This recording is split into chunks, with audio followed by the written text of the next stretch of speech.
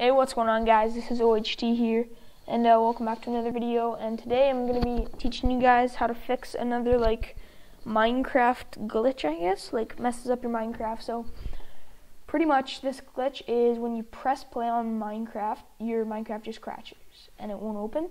So this is how to fix it. So usually, well, this fixes fixed mine when I had this glitch. Uh, download, and then you go download free Java software and download it.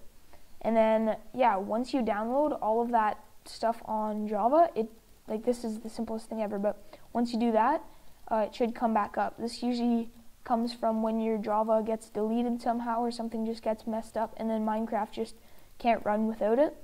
So it won't let you play Minecraft, and it'll crash when you press play and sometimes it gives like weird messages. But uh, yeah, you just press um.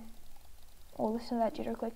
Yeah, you just go in on Java and you download Java and then run Minecraft after you downloaded it, and you should be good. If this doesn't work or anything, um, I think I could help you guys out if you have any like other things that mess up your Minecraft if it's not running. So yeah, just comment on it and like the video and sub if you sub if you like me and like if you like the video. So yeah, comment if you need any help with anything else, uh, any like ideas I can make videos on them and to help other people out. So if you have any like things that are stopping you from playing Minecraft or just are messing up your Minecraft, just let me know and comment it and I'll make another video on it. So hope you guys enjoyed. Peace out. See you in the next one.